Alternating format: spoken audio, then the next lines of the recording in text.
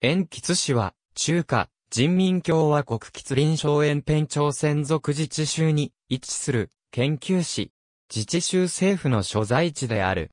市内の中央を布地港通り川が東西に流れており、韓国人の間ではソウルの観光に例えられる。プルハトンは満州語で柳を意味する。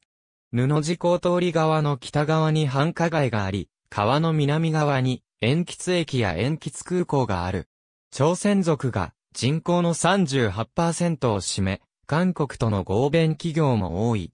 街は、ハングルの看板が溢れ、朝鮮語放送のテレビ局もある。ハングル表記は、長白山北陸の山間盆地に位置する。南北東は山に囲まれ、西に開けている。延辺朝鮮族自治州の中心部に位置し、北は、トンカ市、北東は、大清市県、東は、トモン市、南から南西は、竜医市、西は、アント県と接する。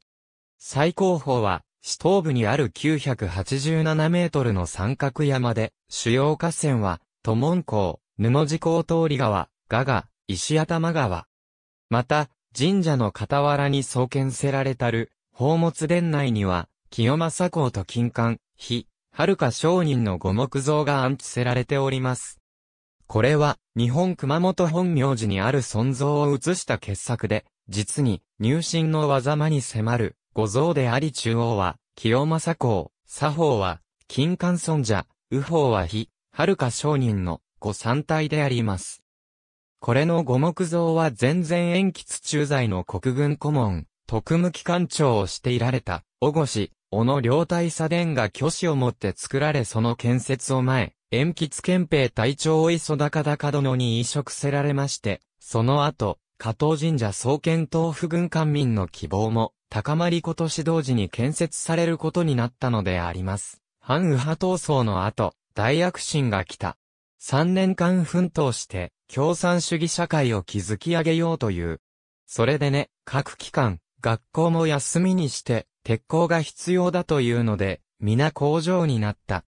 子供たちの背丈くらいの溶鉱炉を作って製鉄するというのだから驚いた。中国がみんな気違いになった。学校の鉄棒も家庭の風呂釜も持って行って溶かした。結局は公式の統計では、塩吉で2000人が飢え死人だという。それでいて、新聞、雑誌、ラジオすべてが偉大なる大躍進を称えた。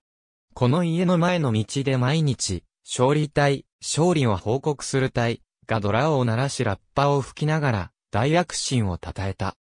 これは全部嘘だ金学ぶ鉄、私の歩んだ道六街道、四地の管轄、信用軍区第16集団軍所属の第21、砲兵師団と戦車反撃旅団の司令部が所在する。中国東北部の昭和を歩く2011年7月28日、発刊東洋経済新報社 ISBN イコール978から4から 4920442E9219 P ハット地球の歩き方2019から20版 P204 トマン港に流る中国朝鮮族自治州延吉下宿日記 134P ありがとうございます。